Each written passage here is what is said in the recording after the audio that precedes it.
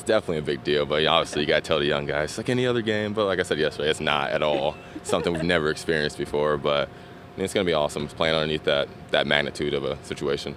Everyone at the school is kind of like, oh, you guys suck. Oh, we have a football team, just making jokes about us. And they don't want to show your face around campus. But, you know, now it's like I can walk around with the M on my jacket and they, oh, good game. And now all these fans coming out of nowhere, people tweeting at you. SEC teams like Mississippi State are known for being big, fast, and physical, but this Redhawks team is not intimidated. The players tell me they're going to lay it all out on the field in the St. Petersburg Bowl.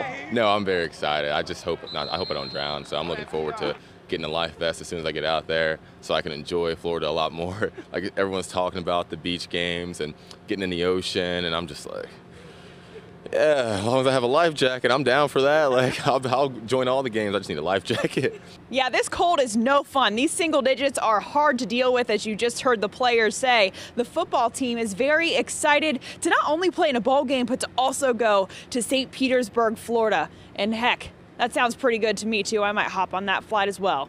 Reporting from Miami, Elise Jesse, WLWT News 5 Sports.